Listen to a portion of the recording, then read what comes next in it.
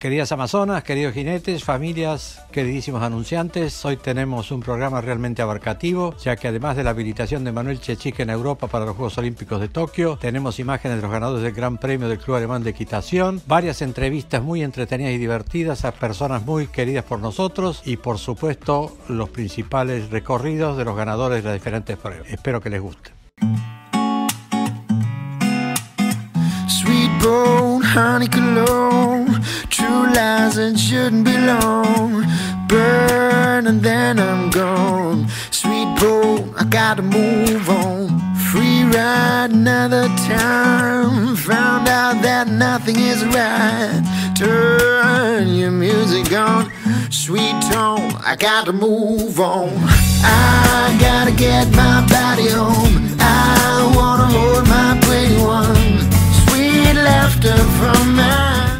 Y estamos con Viviana Franza, una amazona amateur, que de amateur no tiene nada, les voy a decir la verdad, porque es bastante profesional, pero bueno, vamos a decir que es amateur. Pero gasto, gasto como un amateur. Ah, bueno, eso sí, eso es verdad. plata como un amateur, así que soy amateur, me lo gané. ¿Qué ganaste en el Club Alemán de Equitación o qué no ganaste? Decime la verdad. Eh, justo ganó el Gran Premio. Así que justo ganó el gran, premio. Ya lo vamos a tratar más tarde. Y, no lo gané porque no lo salté. no, no, no. Em, el fin de semana pasado, el doble de 35-40, junto con La Roca, con José. 1.30 eh, con eh, mi fantástico Dumbo, elefante volador, Chapter Wanderers, ganamos en 1.30 el fin de semana anterior, este fin de semana segundo, también de vuelta con Cheptel, eh, Evanditza el otro fin de semana, ahí vamos haciendo un popurrí de, de, colores. Pero bueno, venimos, venimos. Entonces plata invertida y bien gastada. No te podés quejar. Mira, con este deporte siempre es bien gastada. Siempre es bien ¿Eh? gastada. En vez de ponerme pómulos y hacerme lipo, me la pongo en caballos. Eh, sos una amazona que tiene un muy lindo estilo. Eh, una técnica muy depurada, muy trabajada, te veo trabajar en el día a día, bastante, un estilo bastante americano, por alguna razón en especial. Para empezar, hace 50, 50, 50 años que hago esto. 50, sí, es como mucho. O sea que si a esta altura del partido no me sale algo más o menos bien, y haría ajedrez, tenis, otra cosa. Pero sí, empecé en Estados Unidos, empecé a los tres años. Ah, ¿viste? Eh, montaba con un pony en una caballeriza de Central Park, las caballerizas ah. más viejas de Estados Unidos, que se cerró hace poco, que era un edificio de cuatro pisos donde la pista era el piso abajo con arena y te bajaban por una rampa los caballos solos, era, era como un estacionamiento divino. Y ahí empecé y después en Estados Unidos monté con eh, Nicole Simpson, con George Morris, con Jimmy Williams, con Así que tengo ahí una mezcla. Y Jimmy Williams te, enfatizaba mucho en la psicología del caballo, que eso me quedó muchísimo, la conexión, por eso hablábamos antes de eso. Eh, y por eso ahora estoy con Guido Stirle, porque es el americanito de, acá, de la Argentinada. El americanito argentino. Así que sí, sí, por eso tengo ese estilo y, ese laburo y esa esa cabeza dura, ¿viste? De, continuar en, una, en un, sistema y todo, por más que, ¿viste? Que a veces te desespera. Pero bueno. Bueno, a veces te desespera, pero todo método lleva al éxito. Es la verdad. Claro, la meta, la meta no es la cucarda, la meta es. Mi meta es que todos mis caballos estén apoyados sobre la rienda externa. ¿Entendés? Y después, si la cucarda viene por eso, hago la ola. Pero por ahora mi meta es más, más la monta, no tanto la cucarda, ¿no? Así que bueno será una buena excusa porque no tengo las cucardas, pero bueno, está bien. bueno, no es el caso, no es el caso. No por ahora, no por ahora, pero esto, viste, la otra vez me decía que era la dueña, no sé qué cosa. Yo digo, esto es como un Airbnb. Porque uno cuando llega se cree dueño, pero estás un ratito nada más y te, sale, te, cuesta muchísimo estar ahí. Así que más que dueña es como un alquiler. Sí, totalmente. Así es. Es así, así que bueno. Vivi, teníamos muchas ganas de hacerte esta nota por cuestiones de espacio. Siempre se iba dilatando, dilatando, pero vos seguías ganando todos los fines de semana. Así que no tenemos ya, no hay forma de no hacer la nota, no hay forma de no insertarla. No me escapo más, Interpol me va a encontrar, me encuentro Interpol ahora. Exactamente, así que bueno, no, te quiero agradecer mucho. A ustedes, a ustedes siempre. Muy buen programa, muy informativo, mucho consejo, hay que seguirlo.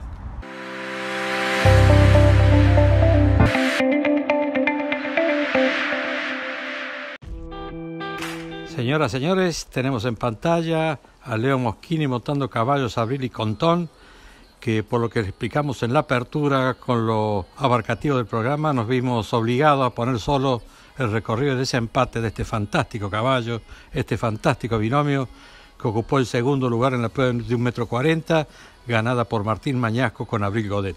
Leo Moschini también ganó el mini gran premio, entró primero, segundo y tercero en la prueba de metro 30 y un sinnúmero de clasificaciones más. Está en su mejor momento, muy bien montado con un lote de caballos como este realmente excepcional, que creemos, sin temor a equivocarnos, que es uno de los mejores prospectos que ha habido en Argentina en los últimos años. Finaliza sin puntos en contra, 38 segundos, 36 centésimas. Pasando a ocupar la primera colocación de la prueba hasta el momento. Nuevo resultado a batir.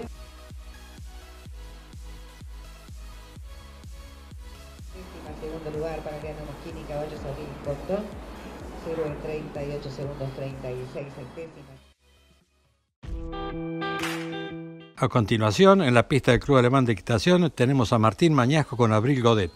Luego de una breve estadía en Miami, retornó a la Argentina. La semana pasada tuvo una, participación diferente, ya que en los últimos obstáculos su yegua se cansó y cometió un derribo, pero ya nuevamente a punto pueden ver ustedes la solvencia, la capacidad del binomio, la velocidad de Martín, los buenos giros, la limpieza de Abril Godet, que se impuso nada más y nada menos que a Leo Mosquine con Incontón. Realmente son un par de binomios y hay algunos más también como algunos que participan en la 40 150 que están muy afirmados, muy sólidos y va a costar ganarle a Martín 8 centésimas, pasando a ocupar la primera colocación de esta prueba hasta el momento. Nuevo resultado a batir de Martín Mañasco, Abril Godet. Ganador de esta prueba, Martín Mañasco con Abril Godet, cero faltas, un tiempazo, 37 segundos, 8 centésimas. Y desde el Club Alemán de Equitación estamos con un conocido nuestro, Ricardo Yacante. ¿Cómo estás, Ricardo? ¿Cómo están ustedes? Muy bien, la verdad. Después de dos años de no haber venido a Buenos Aires, eh, nos dimos una vueltita para no perder la costumbre. Claro que sí, hay que estar a, al día. Sí, ¿eh? la verdad que sí, porque los chicos vienen acá y ahí vemos si realmente están, están en los niveles que uno pretende que estén. Entonces, acá nos medimos realmente con, con todos los, los, los buenos, digamos. Sí, totalmente. Eh, Ricardo, ¿de dónde venís? Contale a la audiencia de hipismo de primera. Bueno, yo vengo de la provincia de San Juan, ya hace un montonazo de años, ¿no? Esta vez volví a venir con un grupo de alumnos que gracias a Dios nos, nos está yendo muy bien. Bueno, me alegro muchísimo. ¿Cómo ves la equitación en el interior? ¿Cómo está en estos momentos tan complicados? La, equitación en el interior está muy bien. Lo que, lo que sucede es que estamos muy, muy, muy faltos de competencia. Ya llevamos todo este tiempo prácticamente sin nada de, de, de concursos. En nosotros el último concurso que pudimos realizar fue eh, en diciembre, eh, el 10 de diciembre, en Córdoba. Y ya después todo se paró, así que por eso también es un poco el motivo que venimos para acá, que tenemos la suerte de, de que acá en el hípico argentino y el alemán se estén haciendo competencias. Sí, totalmente. Hay que mantener el concurso, ¿no? Para los chicos, para, para mantenerse al día, es, corriendo y demás. Es, la, este, es, la, es, importante. Es la única manera, es la única manera, como te decía recién, de medirse, de estar, estar al día en, en todo, los armados, en realmente en que los chicos se, se midan con otros. Así que bueno, por eso es, es que vinimos. Bueno, y quiero decirles que Ricardo se ha cansado de sacar ganadores. ¿eh? Primero como jinete, él ha sido un gran jinete eh, en sus años, hace unos pocos años atrás, y, y, después ha sacado grandes ganadores, grandes jinetes también, que hoy en día saltan los grandes premios también, ¿no? Eh, bueno, sí, la verdad que tú, he tenido la satisfacción de tener jinetes muy, muy importantes, dos a nivel mundial, pero bueno. Y todo lo que Nada se más. De ella, sí. Nombralo, por favor. Sí, Leonardo Maicur y, y Maximiliano Turcumán. Claro que sí. Bueno, muchísimas gracias. ¿eh? Bueno, no, gracias a ustedes por la entrevista.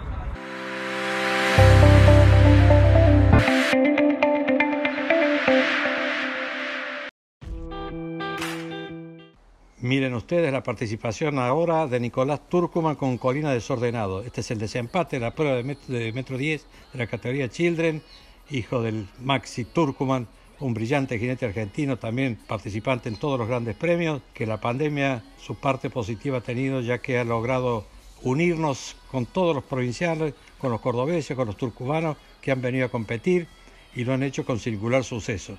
Miren qué giro, qué buena participación.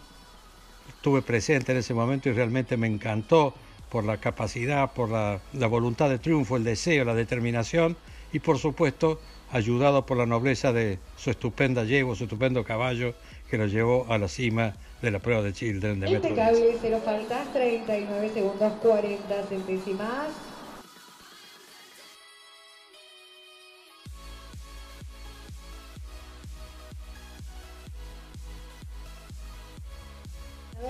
Nicolás Turcuma, Nicolina desordenado, con 0 en 39 segundos 40 centésimas. Bueno, y estamos acá con otra familia emblemática dentro del hipismo, ni más ni menos que con los Turcuman. Este, hola Maxi, ¿cómo estás? Hola Dolo, ¿cómo vas? ¿Todo bien acá visitándolos por Buenos Aires? Claro ahora sí. con, con mis hijos saltando. Qué orgullo, ¿no? Sí, sí, la verdad que contento. Uno como padre es, es- es vivirlo desde otro lado al deporte, pero también muy lindo y muy orgulloso. Los dos están montando cada vez mejor, así que felices. Estamos con Igna. Igna, ¿cómo te fue en este concurso? Eh, bastante bien. Eh, pro- pues, empecé a saltar el Principito, el 1920 y muy bien, muy satisfecho. Recordamos que el Principito era tu caballo. Como ves, se confirma mi teoría de que nuestros hijos nos van desba- desbancando y desmontando. Exactamente, nos van quitando los caballos. Sí, se lo pasé ahora en San Juan antes de venir, hizo un par de entrenamientos porque estamos sin concursos y anduvo bárbaro, saltó 1.20, hizo cero falta, así que bueno, él está en pre-junior, Dios quiera que le sirva, se lo puedo prestar. Claro que sí. Y bueno, como no podía ser de otra manera, viene el Benjamín de la familia. Hola Nico, ¿cómo estás? Bien, Nico, ¿a vos cómo te fue en este concurso? Me parece que te fue bien, ¿no? bastante bien. Contame qué saltaste. Uno diez y uno y un metro. Y ganaste, ¿no? Eh, sí, Contame cómo se llama tu caballo. colina desordenado. ¿Y es desordenado o no es desordenado? Sí, es desordenado. Se porta bien, se porta bien. ¿Se porta bien? Bueno, ¿y cómo es trabajar con, con su padre como entrenador? ¿No? Ah, ¿no hay entrenador acá? Contale quién. A veces se mete, pero no suele opinar. Lo deja Ricardo, no se suele meter. Muy bien, me parece muy bien. El entrenador de los chicos, es- nosotros en San Juan tenemos a Ricardo Yacante, que para mí es el mejor profesor que puede haber para chicos, así que están en las manos de él y él los va guiando y yo simplemente ayudo, lo- aguantándome a meterme lo menos posible. Bueno, chicos, los felicito. Esperamos verlos en futuros concursos por acá, ganando y, y haciendo nuevas notas. Muchas gracias. Chao, muchas gracias. Para Episma de Primera.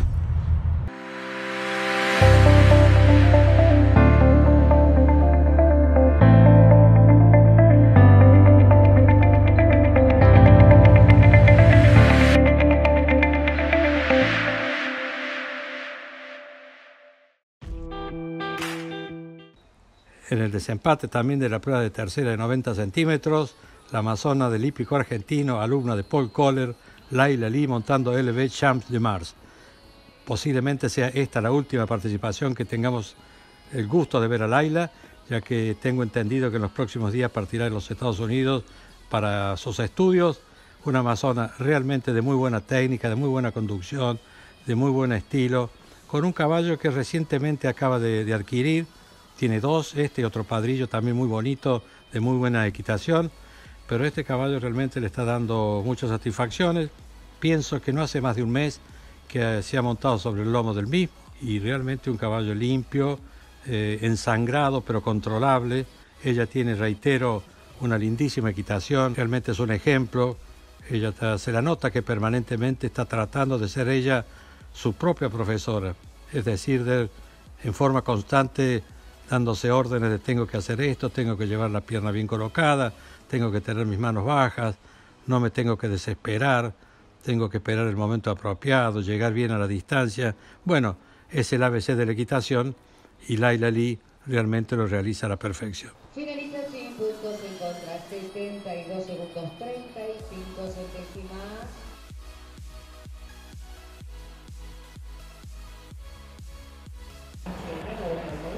Con Irevilla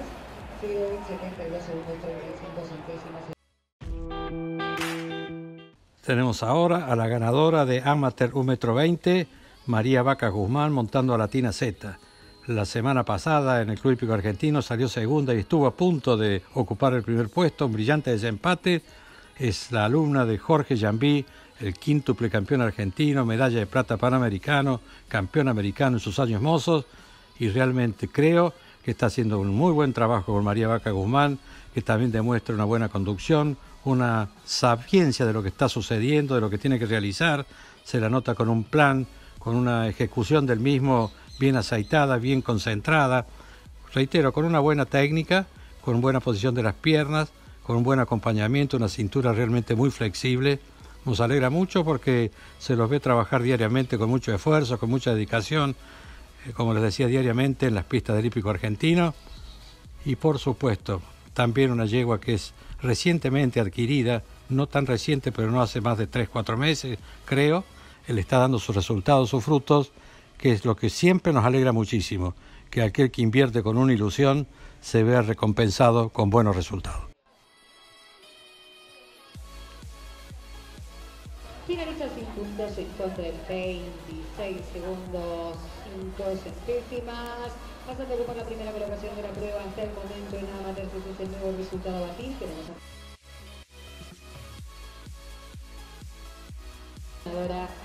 Vaca Guzmán con Latina Z0 en 26 segundos 5 centésimas.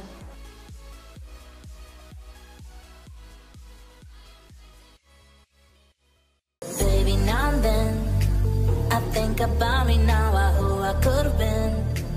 And then I picture all the perfect I live. Till I cut the strings on your tiny violin.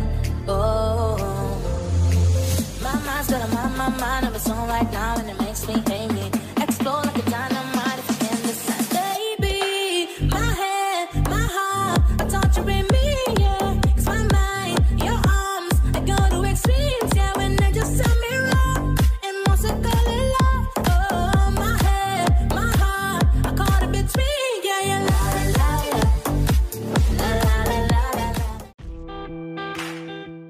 Como les comentábamos anteriormente, la amazona cordobesa Cantalina Candesano montando UME, una extraordinaria amazona, extraordinario proyecto, muy parecida a su madre Celeste Ferreira, alumna de su padre, nuestro querido amigo Cacho Candizano.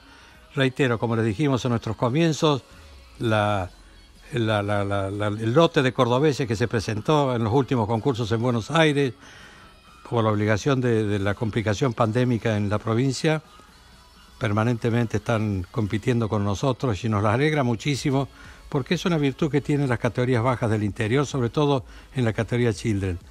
Son chicos muy de a caballo, razón tal vez porque los padres se dedican bastante algunos a la agricultura y al campo, entonces de muy pequeño aprenden a andar a caballo, cosa que los hace con cierta ventaja en los comienzos, pero reitero, no solo es andar bien a caballo, sino que observen el conocimiento de Catalina, la conducción, el poder de su caballo y se ve que su padre, reitero, nuestro amigo Cacho Candizano, una familia realmente de jinetes, ya que sus dos hermanos Horacio y Juan, un poco retirados últimamente, no tengo conocimiento de qué, por dónde andan, qué andan haciendo con respecto a la equitación, pero reitero, una familia íntegra, también Celeste Ferreira, su madre, se dedica a lo mismo y han heredado el ADN de todo lo que le comento.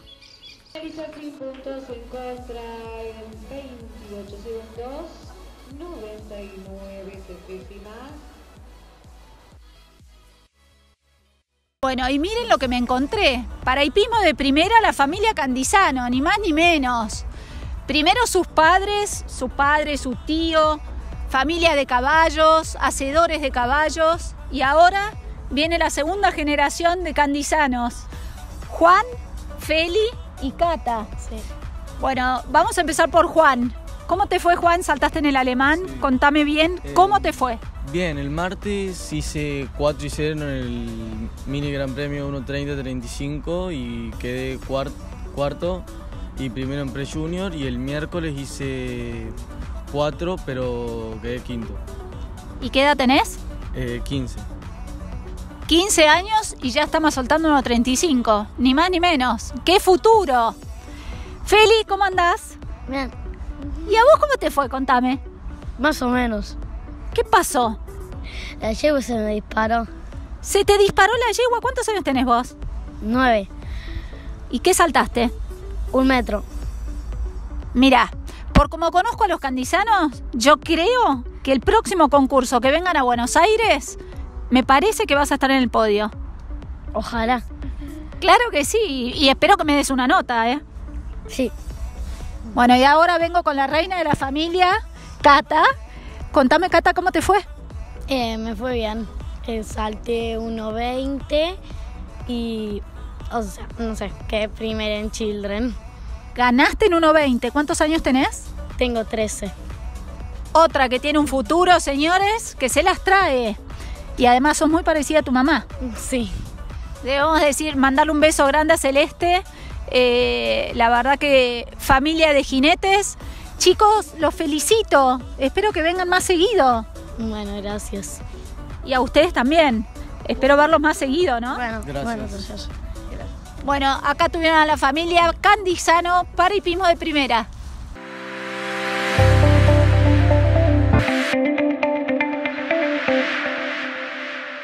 Y desde el Club Alemán de Equitación estamos con Pablo Roll, diseñador oficial del Gran Premio de la segunda semana consecutiva de concurso del Club Alemán de Equitación. Pablo, ¿cómo estás? ¿Qué tal? Buenos días, ¿cómo andás?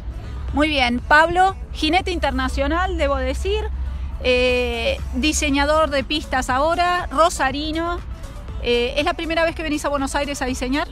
Sí, eh, realmente sí, he venido como ayudante de armador, estuve en el Capricho, en, en el Hípico Argentino, acá también. Eh, y bueno, realmente me he desempeñado como, como armador en el interior, este, sobre todo en mi club, el Jockey Club de Rosario, armados federales, regionales, y, y he ido a Tucumán, bueno, lo que es interior, mucho.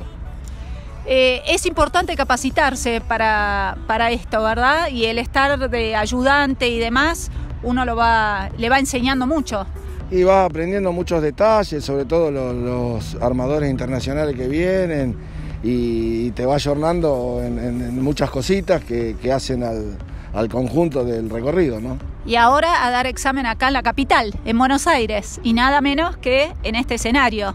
¿Dónde ves la, la dificultad de este recorrido? Eh, ¿Cómo ves este recorrido? ¿Qué, qué planteaste?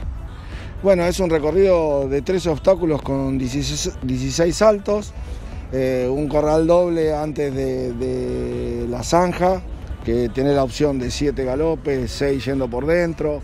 Después un corral triple que viene de una vertical en cuatro galopes y un galope y un galope, pero la, la salida está un- una valla angosta, creo que va a ser bien, bien saltable. Eh, la idea es que de los 28 participantes haya cero y que la- el Gran Premio se defina en el desempate. Ojalá sea así porque eso es lo que hace un lindo show y un lindo show para el diseñador también, ¿no? Sí, aparte yo, yo, es mi idea. Eh, creo que el deporte crece en todos los niveles eh, con ese desempate porque a los chicos le hace la cabeza esos 10 centímetros más y a uno mismo cuando un caballo lo participaste y en el desempate te rindió, eh, crees que puede más. Claro que sí. Pablo, muchísimas gracias, felicitaciones por este debut acá y, y bueno, mucha suerte. Esperemos, vamos a ver qué, qué nos depara el destino, pero la impronta hípica mía creo que está en este recorrido. Bueno, muchas gracias.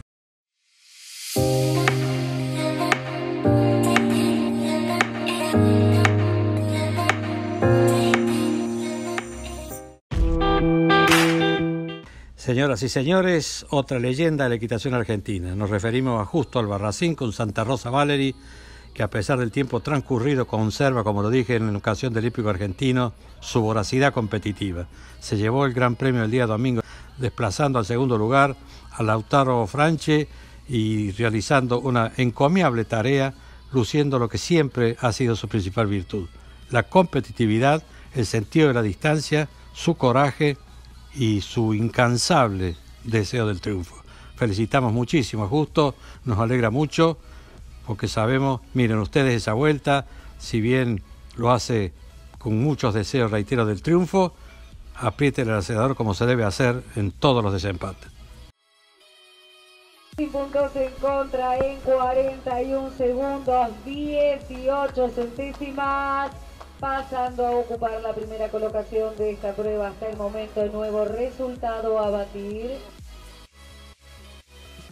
El ganador de este gran premio, el señor Justo Albarracín con Valery, cero faltas y un paso 41 segundos, 18 centésimas. Felicitaciones. Tenemos ahora la participación del segundo clasificado en el Gran Premio del Club Alemán de Equitación, Lautaro Franchi montando Hammer Cooper. Realmente, así como hablamos de Incontón como un proyecto espectacular en lo que respecta a los equinos, a los caballos, yo creo que Lautaro Franchi es el mejor jinete joven que tenemos en Argentina, el mejor proyecto. Ya se lo he dicho personalmente en varias oportunidades, es cordobés también de origen. Yo le comenté que Córdoba había dado cuatro jinetes olímpicos, a Rambide, quien les habla, Dos Pasos y Guillermo Obligado, y que si él seguía por este camino, seguramente iba a ser el quinto. Si mantiene su, su humildad, su dedicación, su profesionalismo y por supuesto siempre se encuentre con caballos adecuados, se cumplirá mi pronóstico que lo decíamos fervientemente. 42 segundos, 3 centésimas no alcanzó, segunda colocación de esta prueba hasta el momento para Lautaro Franci.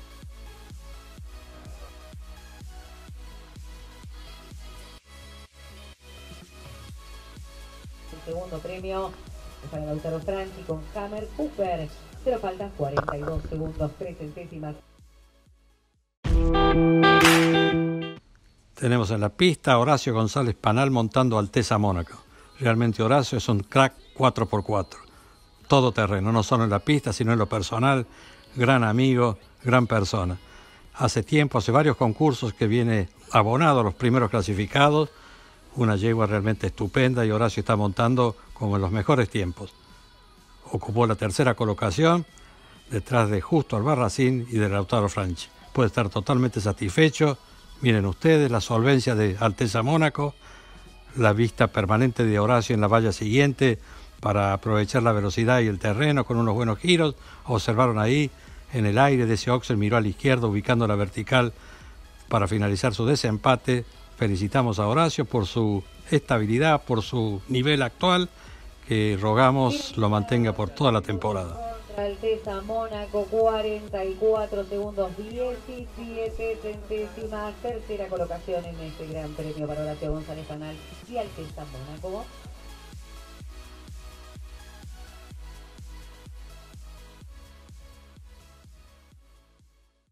Bueno, y estamos con el flamante ganador del Gran Premio del Club Alemán de Equitación, Justo Albarracino. Hola, Justo. Hola, Dolores, ¿todo bien? Muy bien.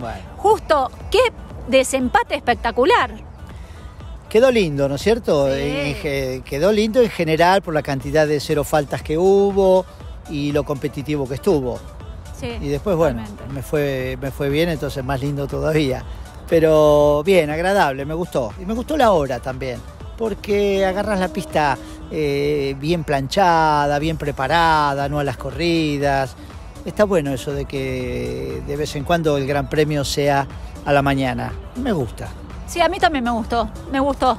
Eh, justo te queremos preguntar también por Matías. Vos tenés un hijo saltando en Europa, nada más y nada menos que eh, disputando un lugar en el equipo argentino para Tokio, ¿no? Sí, están varios jinetes.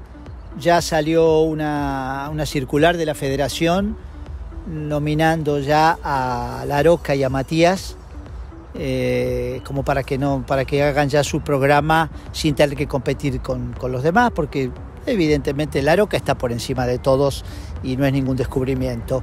Y el Canavaro es un caballo que todos lo conocemos y anda bien y exigirlo para ver si, si está él u otro realmente no, vale la pena porque o Canavaro va o Canavaro no va pero Canavaro no puede ir a disputar contra nadie el caballo está muy bien eh, hizo cero falta en la Copa de Naciones la segunda pasada, la semana pasada.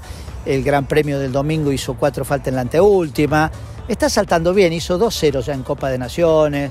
Está muy bien y tiene 17 años, entonces hay que hay que prepararlo para la Olimpiada. La, finalidad de, estos seis meses que Matías está en Europa con el caballo es la Olimpiada, no es ganar un gran premio. Si lo gana, bueno, mucho mejor. Pero el asunto es que, que llegue a la Olimpiada bien, porque el caballo después de la Olimpiada se jubila, lo jubilan. Entonces, este, bueno, así está la cosa. Hay dos lugares seguros. La Olimpiada de este año tiene un cambio, o sea que son tres en vez de cuatro. Sí. El cuarto va como suplente, que también se puede usar. Eso es una novedad.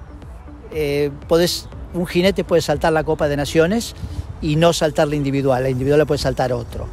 O sea, el suplente. El suplente puede saltar, otras veces que no. Una vez que empezaba el torneo ya no lo puedes usar más, aunque vos te quedes sin jinete por lesiones, El, el caballo, el binomio no entraba más. Y ahora sí, que me parece muy bien. A mí también. Sí. Es más, me parece que a la Argentina la, la ayuda a subir un poquito, un escalón más, ¿no? Al lado de los países desarrollados y con unos grandes equipos, porque eh, al entrar tres, eh, el que mete la pata, bueno, eh, también a nosotros nos ayuda eso, sí, ¿no? Sí, sí, sí, al no haber descarte se empareja un poco más.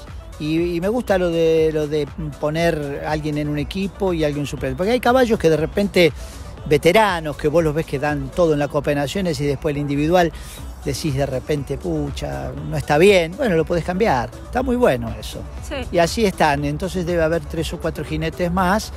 Eh, hay tres más eh, habilitados para disputar esos dos lugares. Y bueno, falta un mes todavía. Ahora tienen dos concursos más en, Sí. en Noque, en Holanda. Sí. Dos concursos más. Y de ahí ya es el 7 o el 10 de julio. Y ahí ya va a tener este, el equipo resuelto Víctor Tellera, el entrenador. Y contame una cosa, ¿cuáles son los planes a futuro tuyos? Los míos están dependiendo de toda esta pandemia. Donde hay concurso voy. ¿Eh? Agarro todo lo que viene. Y porque nunca se sabe si seguís, si no seguís con la pandemia. Y yo en particular, eh, también no sé si sigo o no sigo. Estoy bien, me siento bien, pero tengo 70 años. Esta es mi primera victoria con 70, el día de hoy. Me la voy a acordar en el alemán. Bueno, primero te felicitamos. Segundo, honestamente, no pareces de 70. Estás lejos de serlo. Ah, pero nosotros estamos acostumbrados a vernos. Nunca, nin- eh, ninguno de nosotros del ambiente nuestro eh, sabe. Sí, suponemos la edad, pero nunca sabemos, porque para nosotros son todos. eh, todos estamos más o menos. Todos seguimos teniendo la misma edad. Sí, estamos saltando, venimos al club. Lo único que cambia es que ya, claro, tenemos hijos saltando y entonces. El Que te ten- bajan de los caballos. Ah, entonces tenían 15, después tienen 20, después tienen 25, lo veo con tus hijas y mi- conmigo, que los míos tienen 40 y pico. Pero digamos que es como que la edad se diluye en esto, porque estamos muy acostumbrados a competir en, eh, el que tiene 15 con el que tiene 70, 60. este, así como estamos acostumbrados, que es el único deporte eh, que participa hombre y mujer en la misma categoría y en el mismo nivel. Que eso hoy en día, que está todo en la paridad, para nosotros es algo normal, ¿no es cierto? Era normal, yo salto con vos de toda la vida. Toda, toda la Y vida. encima vos, menor que yo, ya saltabas de chiquita conmigo. Entonces es como que queda todo, ¿eh? todo mezclado y para bien.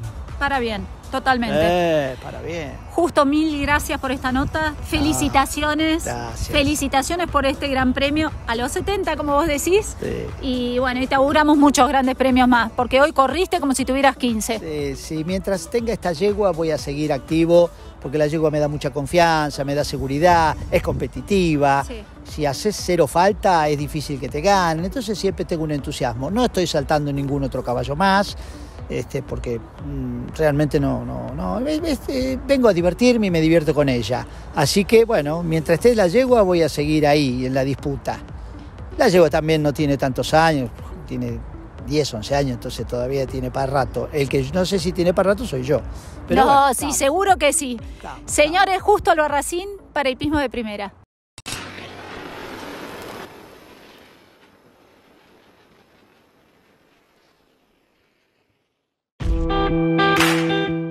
Queridos amigos, tenemos la habilitación de Manuel Chechik para los Juegos Olímpicos de Tokio, uno de los jinetes que faltaba habilitarse, lo hizo en Dinamarca con una responsabilidad realmente increíble. ¿Por qué lo digo? Porque se presentó solo, sin entrenador, le tocó en el sorteo el número uno, una tensión realmente eh, difícil de controlar pero siempre hemos reiterado la virtud de Manuel es su mente, su tranquilidad, que ahora le ha agregado una gran técnica.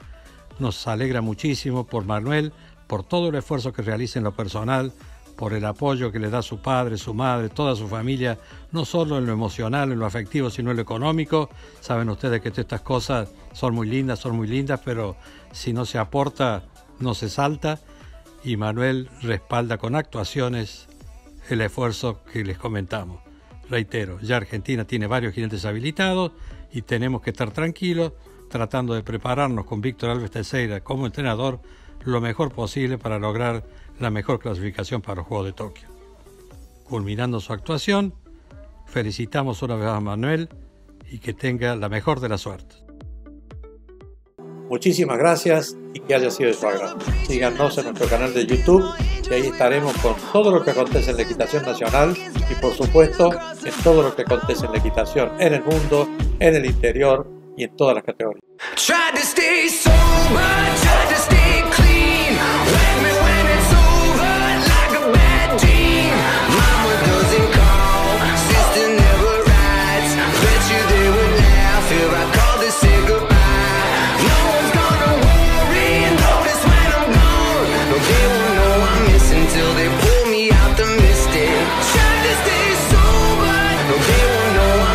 Until they pull me out the mystic